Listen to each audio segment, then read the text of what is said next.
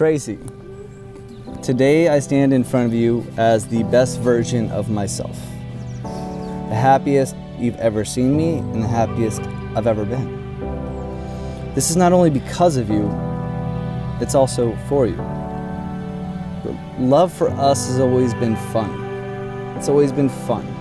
And I promise that forever, I will make sure that love is fun and we continue to have the best time on this next adventure that we are going through. I vow to love you not only for the person who you are in front of me, but for the person that I know you are going to become. The best measurement of love is not where you're at when you're at your highest.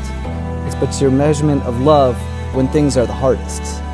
And I know that everything that we have been through, we can accomplish together.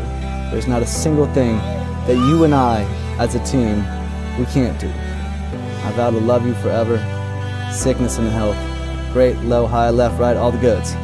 Five years ago, my life changed forever when I walked into a restaurant and saw the cutest, the cutest, most handsome guy I'd ever seen. I didn't know it yet, but I had just met my soulmate, the love of my life, and my best friend.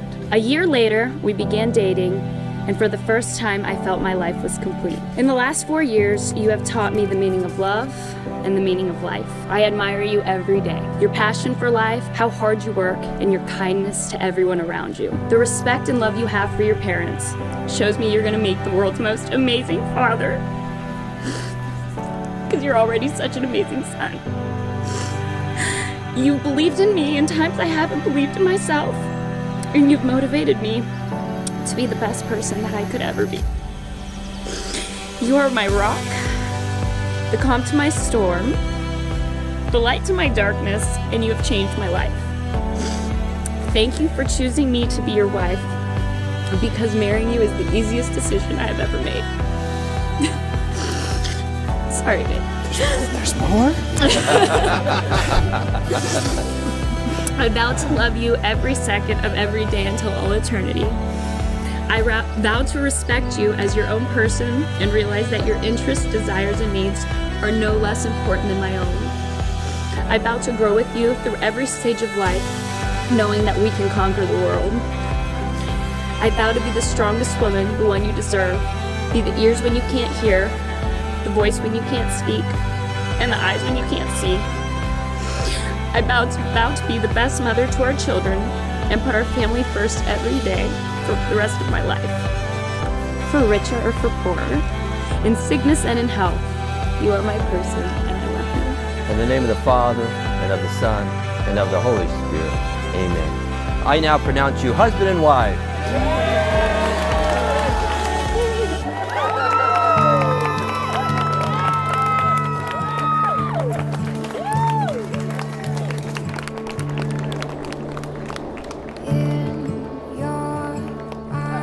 My dear friends, it's my pleasure to introduce to you for the very first time Mr. and Mrs. Tyler and Tracey Norman.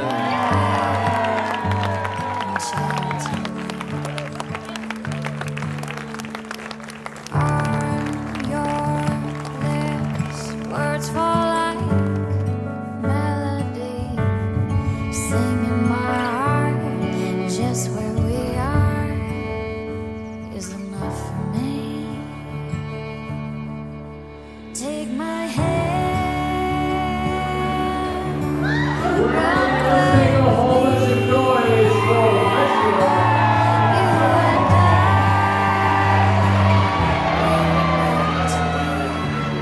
And so I can say hanging out with Tyler and Tracey is very, very different than hanging out with Tyler and Tracey. they bring out different sides of each other and honestly much, much better sides of one another. And I'm looking forward to many, many more years of hanging out with Tyler and Tracey. His patience, wittiness, and calm and cool personality.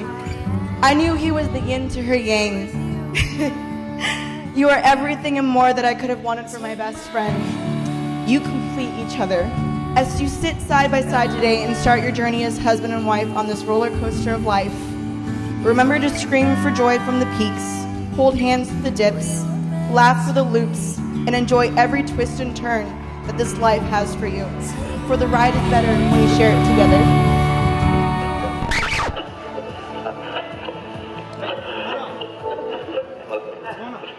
All right, hang on a second. Hang on, hang on, hang on. Wait,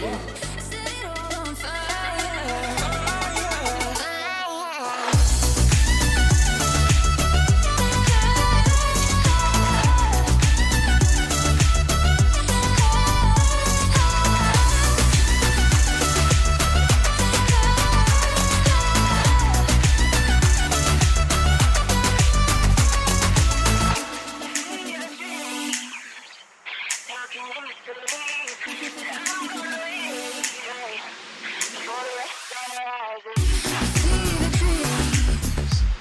trees,